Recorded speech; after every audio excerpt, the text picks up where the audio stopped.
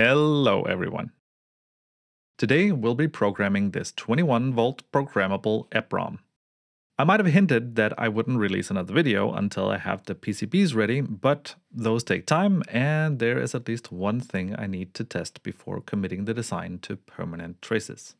You see, this chip is one of the most demanding ROMs I imagine we'll be programming using this programmer, and that's not just the 21 volts programming voltage, but also the fact that it demands 125 milliamps of operating current.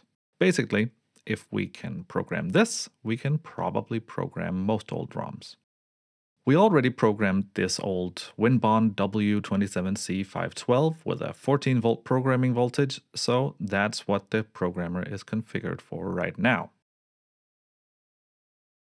If we took a look at the datasheet for the M2732A, we see that besides it needing 21 volts, it also needs a longer programming pulse. So we also have to change the code.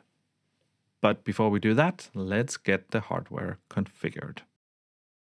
If you took a look at the schematic I published together with the last video, you might have noticed I plan to swap out the fixed 48K resistors with a trim pot to make the programming voltage adjustable.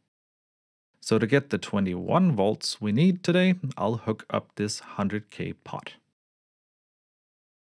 Before adjusting the voltage, I just manually enable the regulator by connecting the disable line from the control register to the 5 volt rail instead.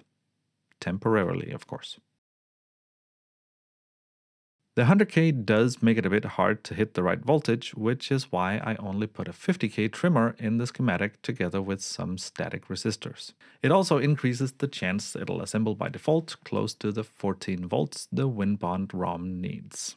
Besides the 21 volts, we also need to connect 5 volts to the VCC pin of the smaller 24 ROM instead of A13 that's currently in that position. That's also why I've put a jumper for that pin on the schematic. If you're hoping for a lot of 6502 assembly coding in this video, you'll be a bit disappointed as we only need to change a few lines of code to program the older type of ROM. First of all, let's skip the code for erasing the ROM electrically, since that's not a feature of this model. Since we might want a different pulse length in the future, I grab a variable for the pulse length we want, in this case 50 milliseconds. Then it's a simple matter of reading the variable in the cloned ROM routine. If it's zero, we use the default of about 100 microseconds, and if it's set to anything else, we send that to the delay long routine, which approximates a 1 millisecond delay per count, which is exactly what we need.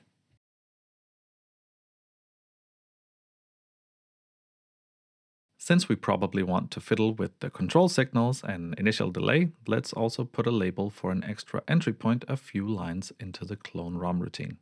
And that should be it for our permanent code changes, so let's get that committed to ROM and see if it'll run. Let's run the code without the ROM first and see what it does.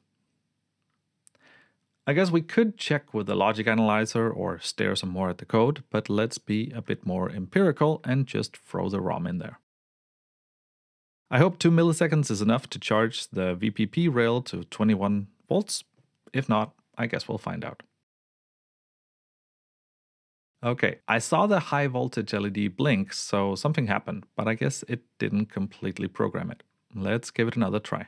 Nope, that crashed for some reason. One more time.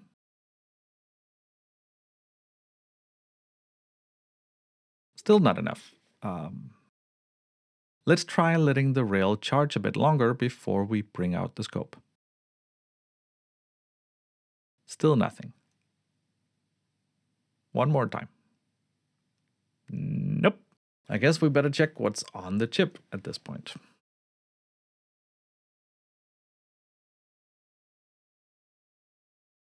Okay, that doesn't look right. It looks like there are blocks that just haven't been programmed at all.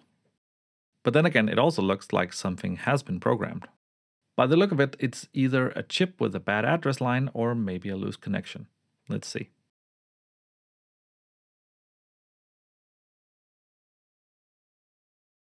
Maybe it's the wire connected to A9 that's being pulled up somehow. Oh, that's all my bad. I managed to touch the VCC wire to the bare diode leg connected to A9. No wonder it's always high. If we fix that, I bet we'll see some change. No?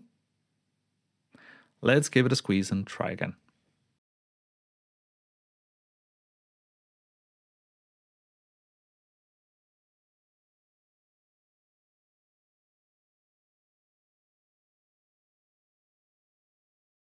There it is. Well, at, at least the first two pages. Maybe if we give it a bit longer delay, we can get those to flip too.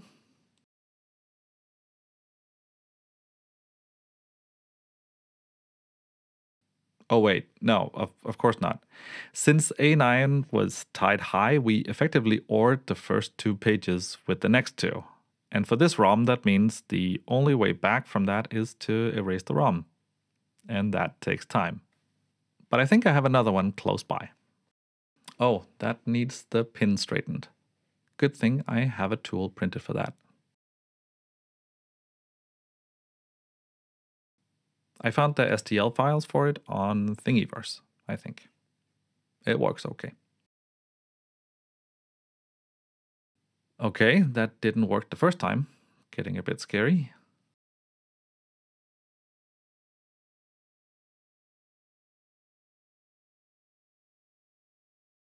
But after a squeeze and another run, it worked.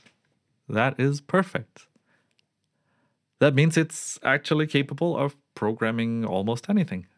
Now, I wish I could plug it into the 65uino here to test, but it's not configured for 24 pin ROMs. But if I grab another 65uino board, you'll see that it's pretty easy to do though, since I've added a solder jumper on the back to connect the VCC pin. If you do that, you also have to either hack off the 28 pin section or for a less permanent solution, you can cut the trace inside JP2. Just make sure you don't solder JP1 without cutting JP2. Now, I could call it a day here and get back to designing the PCB for the programmer, but before I do that, I'd like to take a look at erasing these ROMs. They're supposed to be sensitive to UV light, but even though spring is coming to the northern hemisphere, I don't think I have the patience to leave these outside in the sun for a few weeks. If the sun even comes out, that is. I don't have a dedicated EPROM eraser, but what I do have is an old UV lamp made for hardening liquid glue. I don't know if it'll actually work or even do anything since it's not the right kind of lamp, but I can give it a try and see what happens.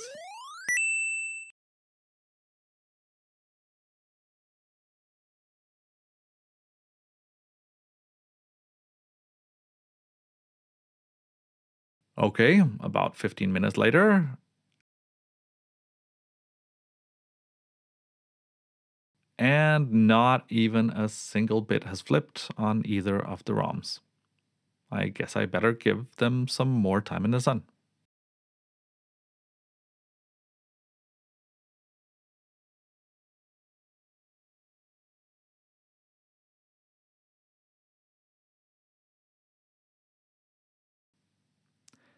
And another half hour did absolutely nothing.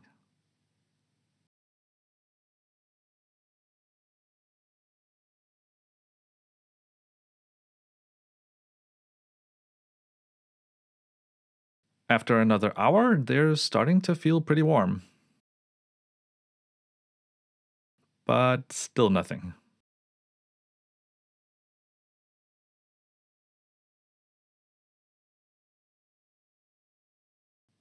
After another two hours, they are really warm. Maybe that's why I'm starting to have issues keeping them in the breadboard.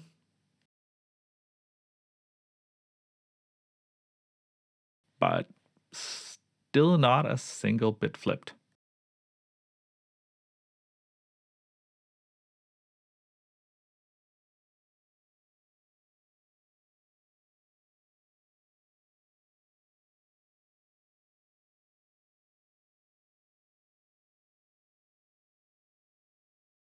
After about six hours in total, it looks like something finally started to happen.